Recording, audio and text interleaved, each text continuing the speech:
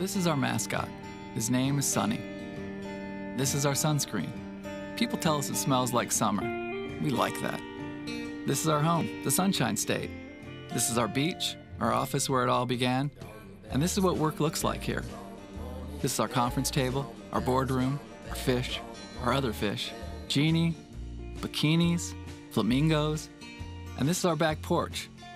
Band stopped by here to get off the road, grab a board and go for a little surf, shoot some pool, or just hang out for a few hours. Sometimes they even play music for us. This is our truck.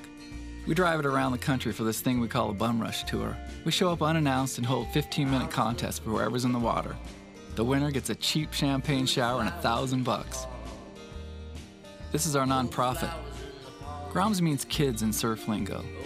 Did you know that one in five of us will get skin cancer and that 80% of the cases were caused from sunburns you got when you were a kid?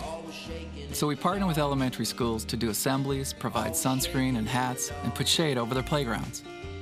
You see, ultimately, we want to make a difference, and we want our lives to matter. We make products the way we like them, and we hope you like them too.